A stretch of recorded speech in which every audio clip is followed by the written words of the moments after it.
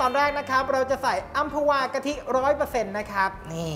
บอกได้เลยว่าขวดนี้เนี่ยเขาคั้นทันทีตั้งแต่กระเทาะเปลือกนะครับ คล้ายกะทิคั้นสดเลย ครับ อันนี้เรายังไม่ได้เปิดไฟนะ ยังไม่เปิดไฟเนาะ โอเค ใส่ลงในหม้อไม่เปิดไฟนะครับ จากนั้นนะครับตามด้วยนมข้นจืดครับ แล้วก็อันนี้เลยผงวุ้นตรานางเงือกนะครับไป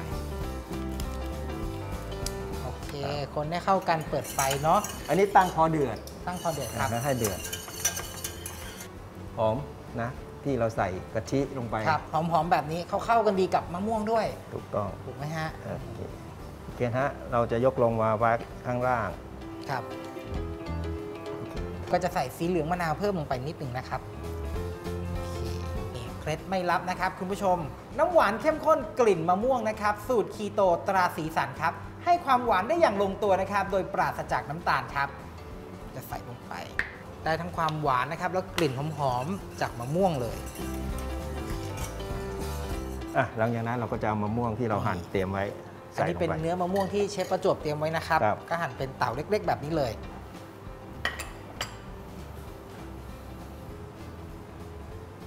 โอเคเดี๋ยวเราก็จะตัก mango pudding เนี่ยใส่ลงไปในถ้วย ได้ครับอืม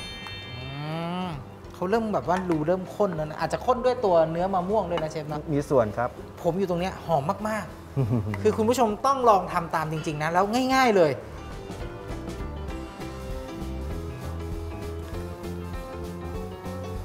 เดี๋ยวเราพักทิ้งไว้ให้เขาเซตตัวนะครับครับน่าโอกิเคนมากต่อไปนี้ถึงเวลาต้องมาทดสอบกันนะครับชิมดู โอเค เราก็จะใส่นมนี้ ตอนเสิร์ฟนะคุณผู้ชมนะ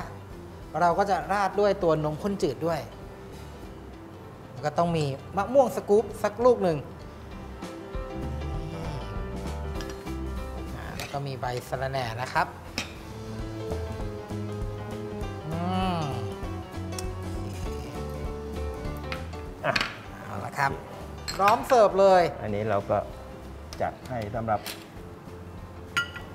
แขกที่เชิญมารับประทานนี่